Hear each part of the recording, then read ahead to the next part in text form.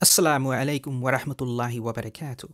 Inshallah, you are all well and happy. Please make sure that you have subscribed and also hit that bell notification button or you will miss out on future videos.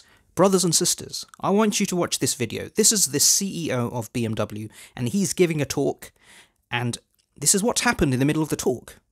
verbindet Rolls-Royce Tradition und Moderne. Jüngster Beweis ist der Brace. Auch der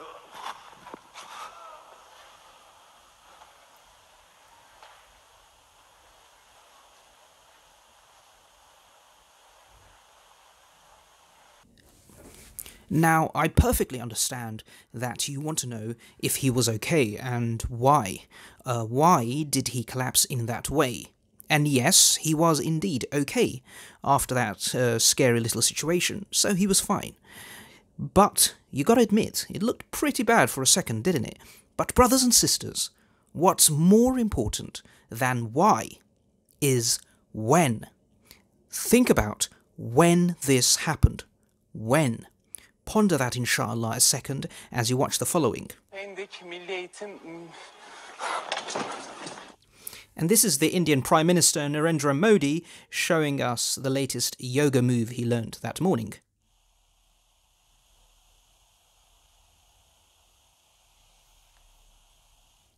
I'm going to let you finish laughing at Modi at the end.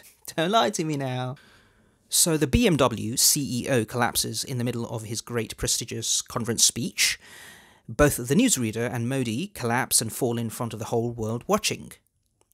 The point I'm trying to make is disaster can strike us at any time. It doesn't matter where we are.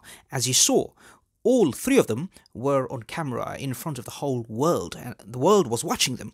But it doesn't matter how rich you are. I'm sure that CEO of BMW is earning uh, millions and has millions stuffed in his bank. It doesn't matter how powerful you are. That's the point.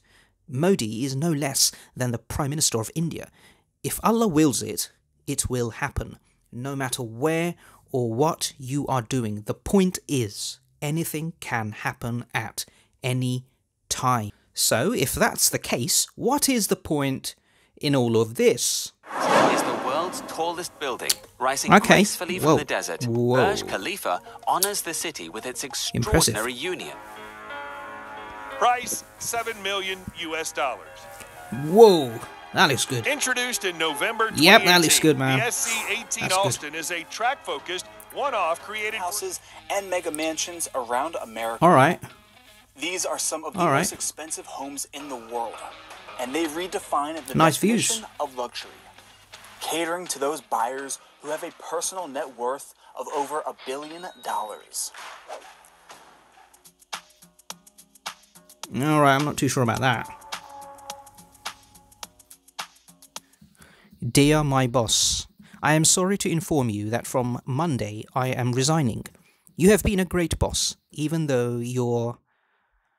uh. an infidel? you would kindly invite me to your Xmas do, but you never used to let me pray. So from Tuesday, I will focus on my death because I finally realized that we will all die, including you, boss. So stuff your Lambo, and thank you for the many years. Send. Well, we still need to put food on the table. We still have to send the kids to school and look after our health. So, can you stop writing that resignation letter just for now?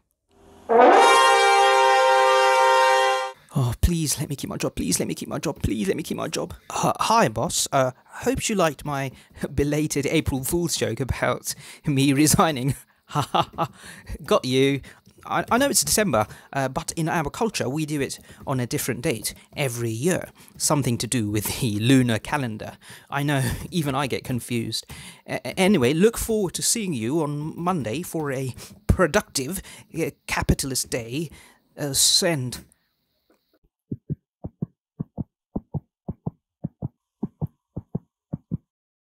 So, just because we all end up in a grave, it doesn't mean we give up on life and turn into this.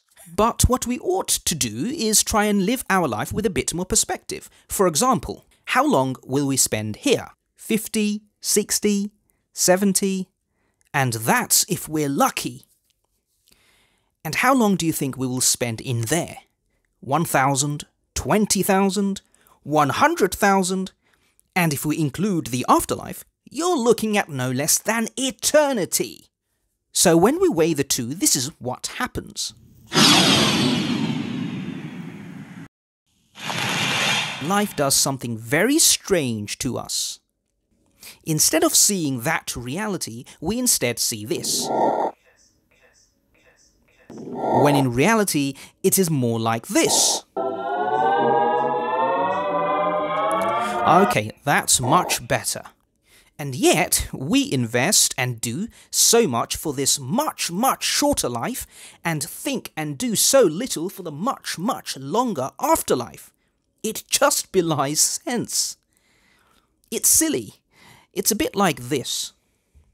It's a Sunday. You are chilling with mates. Average day, nothing special. But you're wearing this. Now, you don't need me to tell you that that looks very silly.